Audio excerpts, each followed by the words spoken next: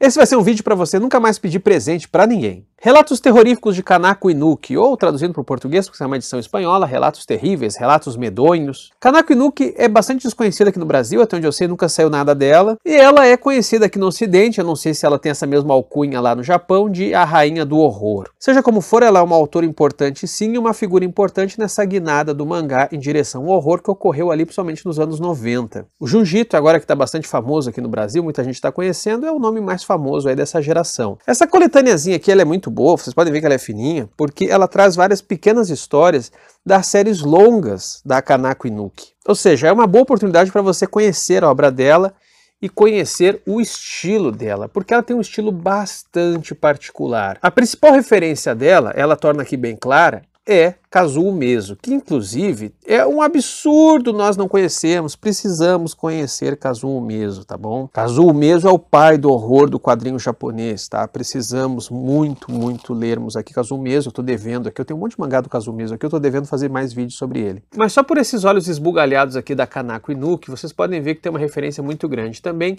ao Hideshi Ino. Já fiz vídeo aqui sobre o Hideshi Ino, ela também menciona ele, é uma figura importante no repertório dela. Outro autor importante que também segue desconhecendo no Brasil é a Moto Ágil, que vou fazer um vídeo sobre ela no futuro próximo. Aliás, comentário paralelo, vejam como tem mangakas fodas, monstros do mangá que nós ainda não conhecemos, né? O Shotaro Shinomori, por exemplo, olha o pouco que a gente tem dele aqui no Brasil. Saiu Hokusai e saiu o Kamen Rider. Inclusive, eu quero ver se eu comento aqui em breve o Kamen Rider que saiu pela New Pop. Mas, poxa, nós temos autores que são figuras chaves para pensar o mangá e nós não sabemos nada deles, nós não temos nada deles publicados aqui. Enfim, temos que correr atrás, tá? Temos que correr atrás mesmo. Mas vamos voltar aqui para Kanako Inuki, tá? Como eu disse, isso aqui é uma coletânea e, portanto, todas as histórias aqui são parte de uma série maior, todas ou pelo menos quase todas, e por isso a gente fica com uma sensação de quero mais. Isso quando não fica a sensação de que a história ficou pela metade mesmo e tu fica pensando assim, tá, peraí, como assim? Vai acabar desse jeito? A pessoa morreu, a pessoa não morreu? Como é que é? Então, realmente é um quadrinho muito de apresentação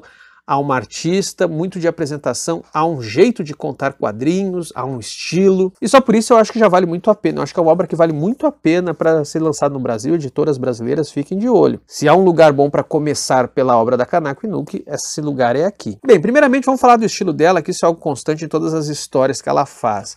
A gente percebe aqui aqueles olhos brilhantes, eventualmente florais decorando a página. Não é incomum ela se utilizar da estética kawaii, só que é aí que tá a jogada, né? Ela tensiona nessa parada. Ou seja, ela pega aquilo que tem de mais fofinho e começa a distorcer até que se torne extremamente bizarro. Os olhos bugalhados, que é algo muito marcante no mangá do Ideshino, ela traz aqui, mas intercala com esses olhos brilhantes, fofos, e daí que tá bacana, daí que tá o contraste. Pois mais do que simplesmente ir em direção ao grotesco, o que, que ela faz é de nos dar uma sensação de desconforto o tempo todo.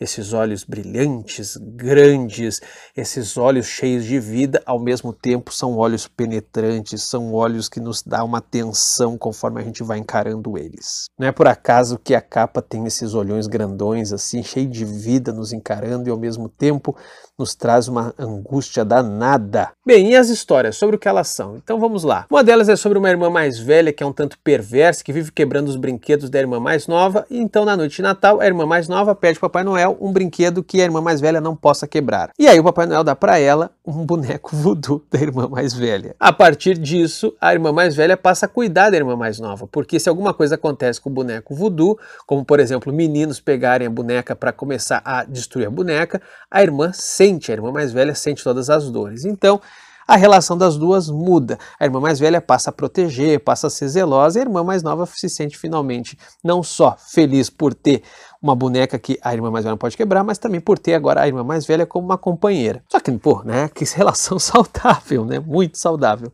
Tem uma história um tanto bizarra que funciona como uma certa paródia ou crítica da cultura Moi, que é uma menina que, diante do seu psicanalista, diz que não consegue mais se apaixonar por nenhum homem e o homem que ela ama, que ela idealiza, é uma figura que só existe na ficção. Só que aos poucos essa ficção começa a crescer dentro do peito dela, dentro do coração dela, como se fosse um tumor, ou mesmo um feto. Sim, tem um feto dentro do coração, que também é um tumor, é um troço muito esquisito. Aí vocês podem imaginar o que acontece um pouco depois, aí rola até mesmo um canibalismo. Gente, essa aqui é a mais, mais gore aqui, é, é boa. O Desejo Realizado é uma série bastante interessante, essa aqui eu queria falar com mais calma, porque é a história esse eu vou ter que dar um spoilerzinho, de uma princesa cega. tá? E ela cresce num reino onde todo mundo é muito legal com ela, onde todo mundo trata ela bem, onde ela está prometida para um cara que por sua vez também é muito gente boa. Então tudo é perfeito, só que ela é cega. Então, cansada de ser cega, ela consegue descobrir um jeito de invocar o demônio e fazer um pedido para ele para que ela consiga enxergar. Eu não vou dizer aqui para vocês como é que se invoca o demônio, vocês vão ter que ler. Não, tá bom, tá bom. Eu vou no final do vídeo dar uma receita lá, Ana Maria Braga, como invocar um demônio. Mas voltando aqui, ela invoca o catiço, ela consegue voltar a enxergar e daí essa é a sacada maravilhosa. Ela vive num reino de monstros. Só que os monstros são gentis, sacou? Eles são monstros que, inclusive, cuidaram dela porque ela foi largada pelo reino dos normais, pelo reino das pessoas bonitas. E ela foi abandonada porque ela era cega. Ela era uma bebezinha cega que foi jogada fora. E eles criaram ela como uma princesa porque ela era muito bonita. A história é muito tocante, muito singela, porque ela depois se sente culpada no sentido de, poxa vida, eles são legais comigo, mas ao mesmo tempo eles me dão nojo, eu não consigo olhar para a cara deles. Eu fiquei com muita vontade de ler o resto dessa série. Aqui só tem a primeira história. Sério, essa aqui foi de todas a que me deu mais vontade de dizer, ok, quero ler o resto. Uma outra série esquisitíssima é Bukita, que aqui a gente acompanha a história de Lolita, que é uma menina de 5 anos que quer namorar desesperadamente. É muito esquisito, muito esquisito. Ela quer porque quer um namorado, embora ela tenha uma visão muito ingênua das coisas, e daí ela descobre um cara também, bizarrinho, mas esse cara inventou uma poção que consegue fazer com que as pessoas envelheçam rápido. Daí ela consegue ficar adulta de uma hora para outra, só que ela é bastante perversa com ele, ela vai manipulando ele, ela tem agora a aparência de uma menina de 15 anos, 20 anos, e as coisas vão começando a ficar cada vez mais complicadas entre os dois. Por sua vez, a poção não é uma coisa assim que estanca, ela também vai envelhecendo cada vez mais rápido. Aliás, não sei se vocês perceberam, todas as histórias aqui têm um certo apelo moral, vão muito na direção do cuidado com você deseja, fique atento na maneira como você trata os outros. E sim, todas elas têm uma moralzinha da história, mas de um jeito muito sórdido, muito cruel, muito monstruoso. Que é o caso aqui da história mais famosa dela, talvez aqui no Ocidente, é a que abre essa coletânea, que é presente. A premissa da história é muito interessante. Duas meninas na escola faziam aniversário no mesmo dia, só que uma tinha muito inveja da outra. Então, a que era muito invejosa fez com que, no dia do aniversário das duas, só ela ganhasse presentes. As amigas só davam presente para ela, a outra não ganhava nada. O tempo passa e a gente vê que essa menina, a invejosa, agora é uma velhinha, né? Já passou muito tempo, ela já ganhou muitos presentes. E essa é a sacada. Cada vez que você ganha um presente, é sinal que um ano passou, né? E aí vem a maldição. A menina que ela nunca deixou ganhar presente, essa menina nunca envelheceu e agora está atrás dela não só está atrás dela, como está dando presentes a ela, e ela não resiste. Afinal, ganhar um presente de aniversário é um signo de não só mais um ano de vida, mas também de menos um ano de vida. Bem, pessoal, essas são algumas das histórias, tem outras aqui nessa coletânea. Como eu disse para vocês, eu fiquei com vontade de ver mais sobre essa autora, mais sobre algumas dessas séries aqui que a gente está vendo aqui, só uma palhinha. Há uma publicação muito pobre no Brasil de mangá de horror, e mangá de horror, então, feito por mulher, e agora vamos lá, receita para invocação de demônio. Anotem aí, peguem um papelzinho e uma caneta. Posicione dois espelhos, um de frente ao outro, exatamente na badalada da meia-noite de uma sexta-feira 13. Use um frasco, de preferência não muito grande,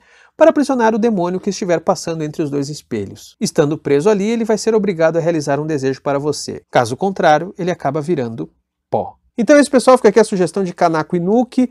Eu não sei se vocês já conheciam a autora. Aliás, eu não sei se vocês conhecem muito mangá de horror. Fica aqui o pedido, o apelo sincero para que vocês digam aqui nos comentários o quanto que vocês conhecem de mangá de horror, o quanto que vocês gostariam de conhecer mais, saber mais sobre mangá de horror, ler mais sobre isso no Brasil, ver mais eu falando aqui sobre isso. E como sempre eu peço que vocês curtam o vídeo se vocês curtiram, se inscrevam no canal, compartilhem, mesmo, mesmo, é importantíssimo, e seja também um apoiador do canal, a gente tem uma campanha de financiamento recorrente no Catarse, vou deixar o link na descrição do vídeo também no primeiro comentário fixado, e segue a gente lá no Instagram, Sarjeta. Valeu, pessoal!